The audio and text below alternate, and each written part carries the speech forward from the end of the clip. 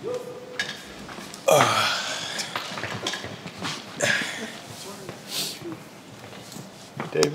How you doing, man? we were just talking to Sidy about the number of good defenders you guys have. Yeah. Spurs like your defensive potential. Mm-hmm. Um, Where are you at that in regard to that part of your game? That's number one. I mean, for me, that's like my priority. Um, I think that's just what's going to get me on the floor, keep me on the floor, uh, keep me in rotations, just utilizing like my defensive gifts that I have, um, and yeah, and then from there building out, you know, expanding other parts of my game as well. What's it like getting that qualifying offer?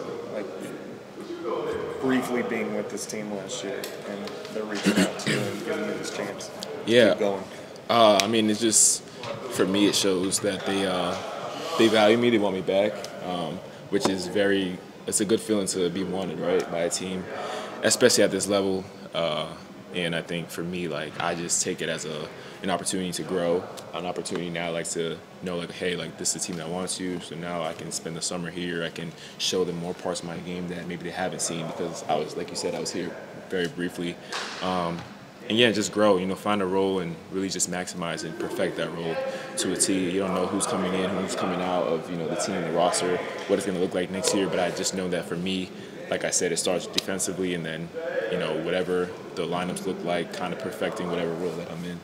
It's already uh, obviously like Victor's here. He's been a big name for a minute, but like, is it kind of crazy, especially like as a guard, like Chris Paul's coming into town? Is that so- something that you look forward to uh, a guy to learn from?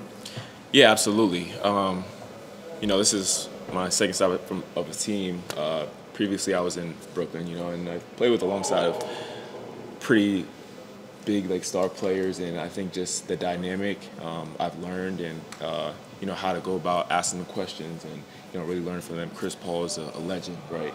Um, I think a Hall of Famer in my opinion. So I think uh, sure. I'm very excited uh, that he's going to be here, being able to pick his brain.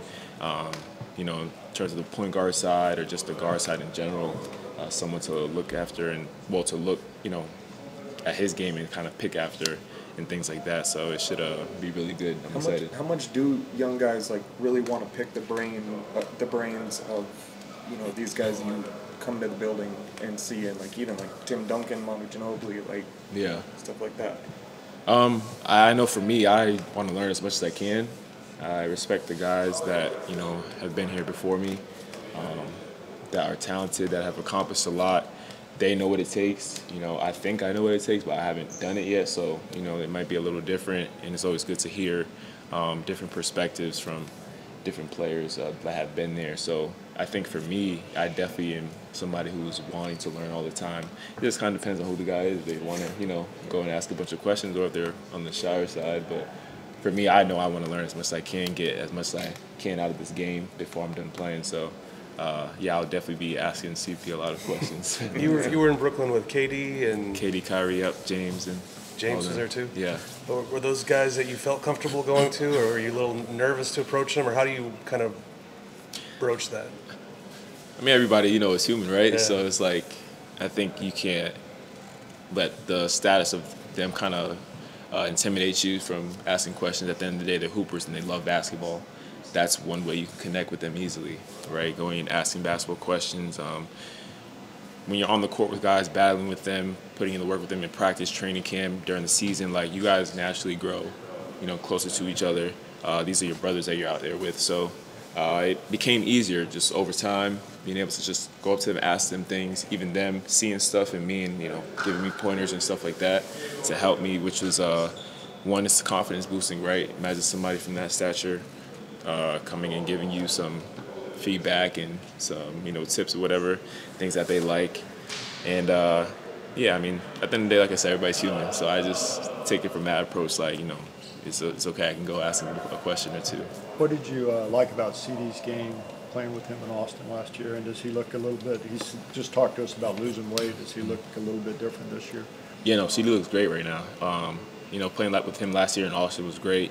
He's a very dynamic player. He can, you know, drive the ball. He can pass. Uh, he can score the ball. Very athletic. Can defend.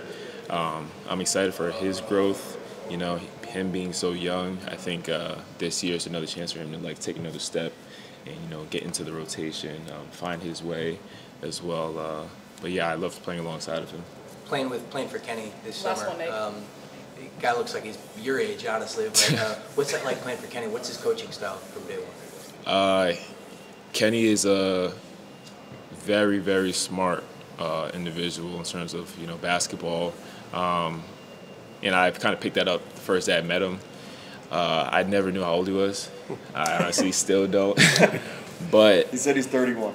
yeah, I don't know. I don't really believe it.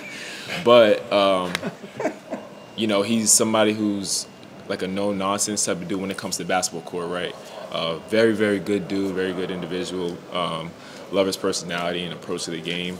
I'm excited to you know play for him and see how it is you know being uh, a player under him being the head coach. But yeah, like I said, he's a very high Q guy, and uh, he's another guy that I can go and ask questions about, and it's for him to help me grow as a player. All right, thanks, Dave. Thank you. Thank you, Thank you. David. Thank you, David. Appreciate you guys. David, I'm Tom, Forest One.